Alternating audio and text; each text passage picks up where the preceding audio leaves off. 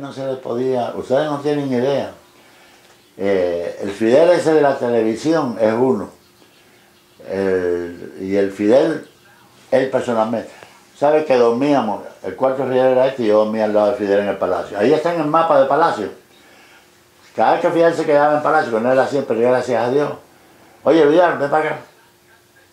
Porque se reunía conmigo para ver cómo estaban las cosas. Por ejemplo, cuando él hizo la primera cuenta en Suiza, que yo me enteré, yo fui el único que tuve los pantalones, que me enteré de chisme, cómo eran las cosas, había que enterarse ahí, porque todo el mundo hablaba en voz baja. Y el día ese que fui al cuarto de él, que me llamó, yo mira, me alegro que me haya llamado, porque he oído algo que no me ha gustado, Fidel. ¿Y qué pasó? He oído decir que tú has abierto una cuenta en Suiza de 5 millones de pesos a nombre tuyo.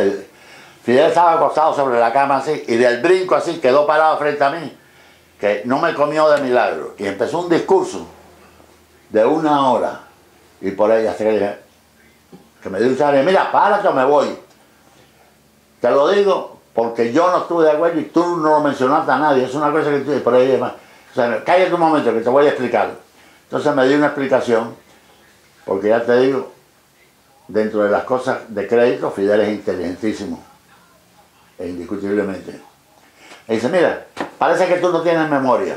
¿Tú te acuerdas cuando tú andabas casi mendigando dinero por todos esos países, en los Estados Unidos y todo, porque no teníamos dinero?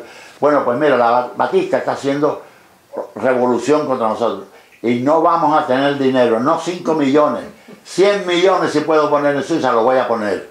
Así que no te asustes y acostúmbrate, porque eso lo voy a hacer.